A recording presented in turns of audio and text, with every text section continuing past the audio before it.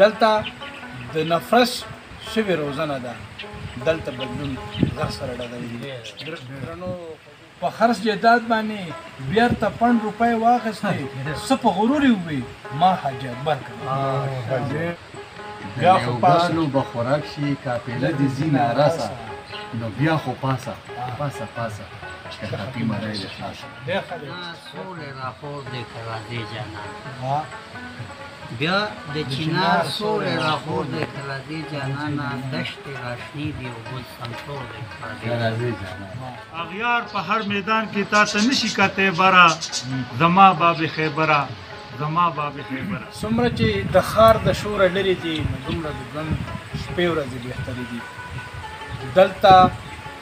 کې بیګر دي دلته زرکې دي دلته کې خنځري او کونتري دي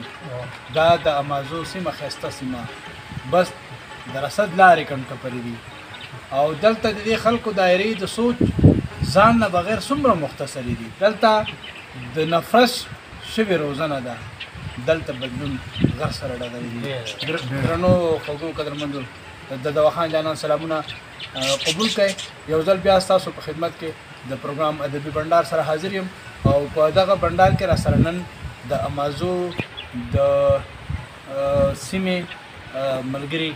جناب میرا خان ډاکټر میرا خان میراج صاحب جاوید اختر اختر صاحب او زرشید خان پټانشیر صاحب هغه ناسي د دې نه به د دې کلامونه ورو نو د ټول اول د دغه وروسته غونډې محفل صدارت معراج صاحب ته سپارم او د معراج صاحب په اجازت باندې به خپل یو کلام وړاندې کړم معراج صاحب چرته چې خلکو نفرتونه کړي شر کړی دی چرته چې خلکو نفرتونه کړي شر کړی دی موږ همیشه په هغه سیمه د ګل کړ کړی دغه منزل تر رسیدلو بریالو وګړو دغه منزل تر رسیدلو بریالو وګړو په څومره لوی کړکیچنه لار سفر کړی دی په خرڅ جیداد باندې بیا پن روپۍ واخیستلې په خرڅ جیداد باندې بیرته پنډ روپۍ واخیستې څه په غرور یې ووې ما حاجي اکبر کړم په خس جداد باندې بیرته پنډ روپۍ واخیستې څه په غرور یې ووې ما حاجي اکبر کړی دی او بېوسۍ او غریبۍ انتها نوره څه وي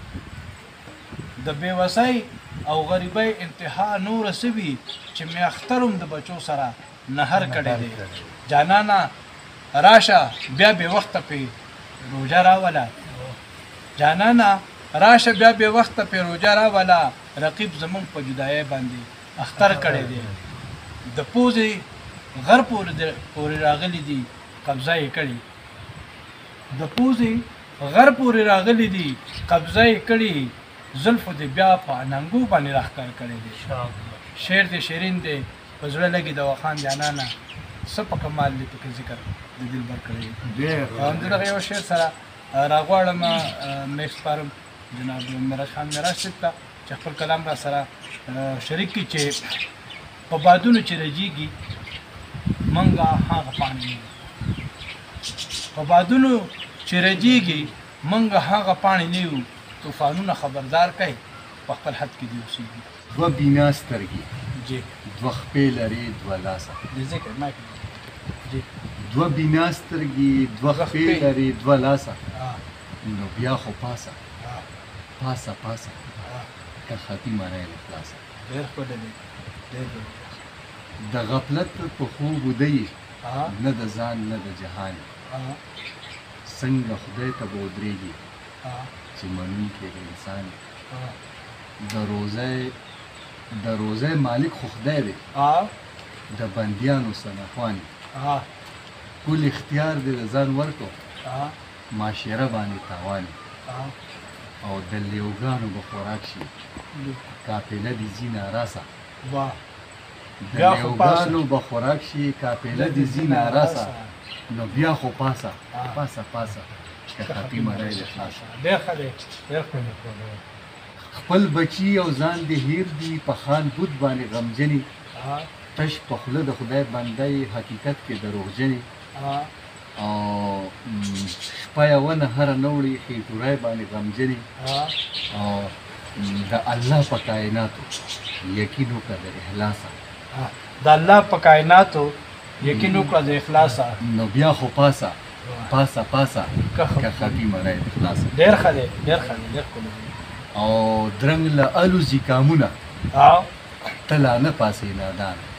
ها سترګې وغړوه پاسه دوړه وڅنډه د ځانه جی زمانه در پورې خاندي ها بې همته نوجوانه ها چې د خور په قبر یاد کی ها دومره څه وکړه مړانه واه ګلیزي معراج په کډه د دې غم د دې احساسه نو بیا خو پاسه پاسه پاسه که خلپی مړای دی خلاص جی قدر مند تاسو ګوره ادبی بندار او زین تاسو کول بعد خان جانان مو سره ناس جاوید اختر اختر سه په دغه یو خپل شعر ورته بلنه ورکوم چې د خپل لاس د ګلوټو ذکر داسې کړي چې وا وا د خپل لاس د ګلوټو د ذکر داسې کړي چې واه واه زما په لاس کې وایي ملغلرې دي ښې نه دي د دې کلي ړانده زما د مخ نقص وباسي د دې کلي کاڼه وایي خبرې دي ښې نه دي خبرې دي ښې جاوید اختر اختر صاحب ته مې سپارم چې کوم کلام دی بیا د چینار سوری راخور دی که راځې جانانه دشتې راشنې دي او ګل سمسور دی که راځې جانانه او هغه خپه او غلې غلې سارا هغه نه دی هغه خپه او غلې غلې سارا هغه نه دی جوړ د بلبلو پکې شور دی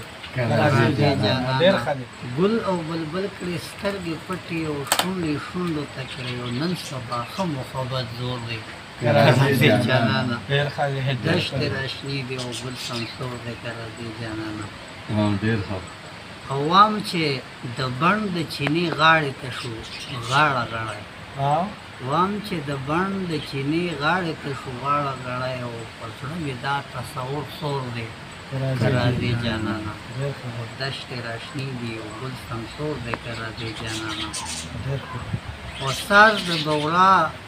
په خلو غزل دی د چرچڼو په خلو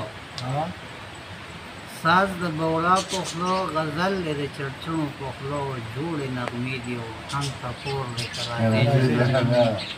دشت راشنی دی او ګل سمسور دی کرازې جانان او اخري شعر دی چې لنګر د زیړو ګلو باغ دی او دې کې شک نشته دی لنګر د زیړو ګلو باغ دی دې کې شک نشته دی خو بغیر له تا اختر ته اور دی او که بود نه وي چې بد وایي وی بس ته نور نه کوم ستا یاري نور څنګه کوم زه د شنډې ونې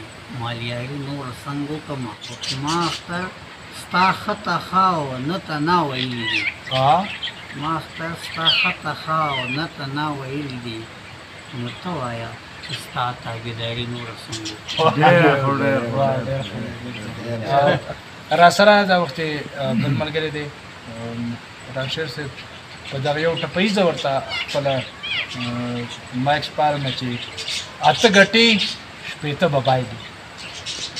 اته ګټې شپېته به بایلي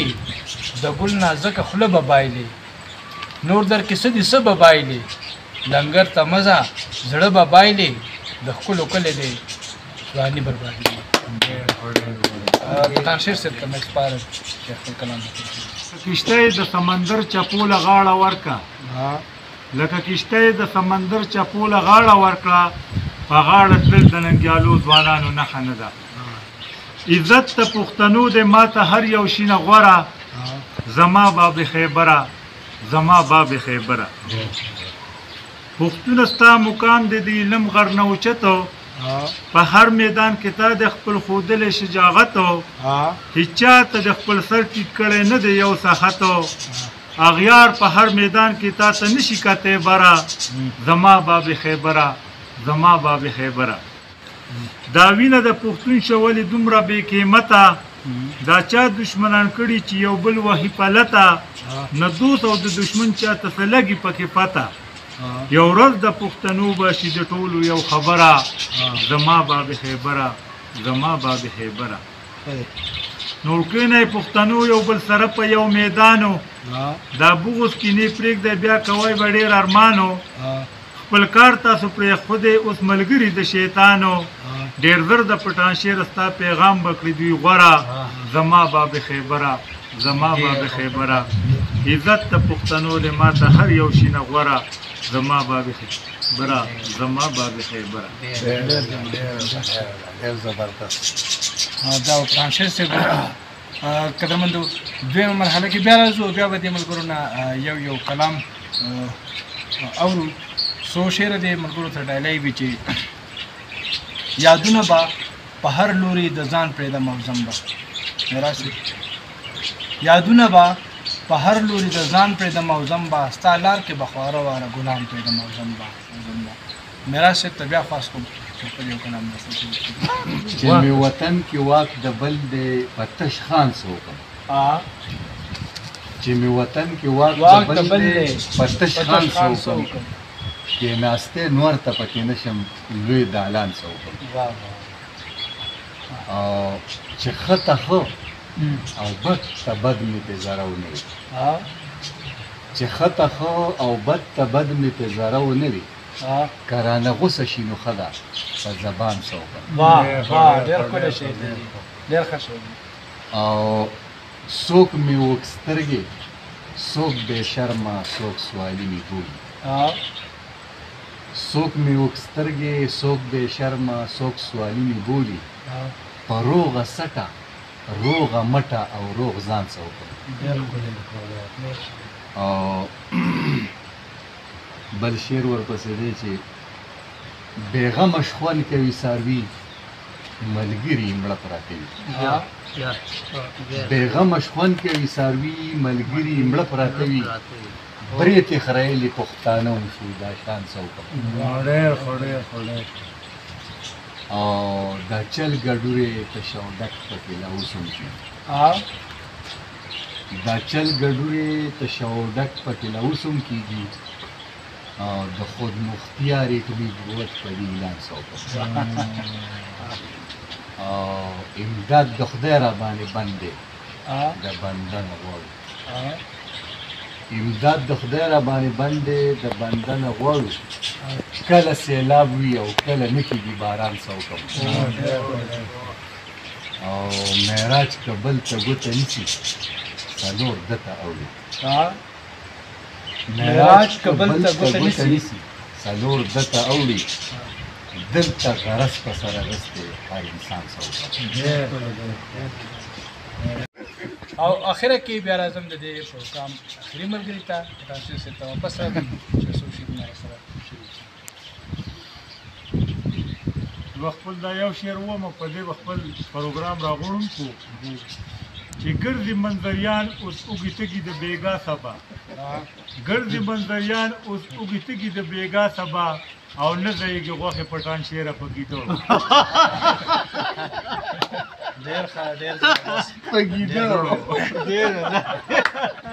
ها کلی په کلی چې ملګری د مصرو لټوم د ادب لارې له کاروان د شاه زلمو لټوم د هجر شپه کې ستا په تمه د وصال سهارا د سبا ستورې د اسمان په کنارو لټوم چې بیرته رقم کړي په سرو وینو داستان د مینې هغه شیرین هغه فرهاد هغه درخو لټوم خپلو کې چرې هم د جنګ اوزګار شوي نه دي خپلو کې چرې هم د جنګ اوزګار شوي نه دي زه چې تر څو پورې تاریخ د پښتنو لټوم په وینو سور وجود د جبر په مقتل کې د یار د خپل ارمان د کفن غټي په سلګو لټوم چا پرې خوده د روغو چم کې لیونی د مینې زما جانان پسې مسکن د لیونو لټوم قدرمندو دا نننې بندر تر راتلونکي پروګرام پورې چې همدغسې بیا به د نورو ملګرو سره یو عددي بندر جوړو خپل کوربه د وخان جانان له اجازت ورکړئ چرته چې خاک